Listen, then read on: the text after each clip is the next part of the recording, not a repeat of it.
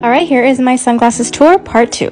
Okay, so the aviators are like colored frames. This one is one of my newest purchases. This one's by Dior. I love pink for the summer and I thought this was just really cute. This is one that everybody loves. I died for this one. I finally found it, but this one is super old. I don't think you can find these anymore. These are by Chloe. Another Chloe aviator find that is old that I keep that I can't let go of. This is a newer pair that I really love by Vella. Another one by Vella with a green lens. Here's a fun one by Bottega that I barely wear. Here's a retro one by Anine Bing and one oversized one from Tom Ford that I also barely wear. Here's another Le Specs ones. I love Le Specs. Quality is amazing. This one's a cat eye and their prices are always great as well. Another edgy one from Stella McCartney.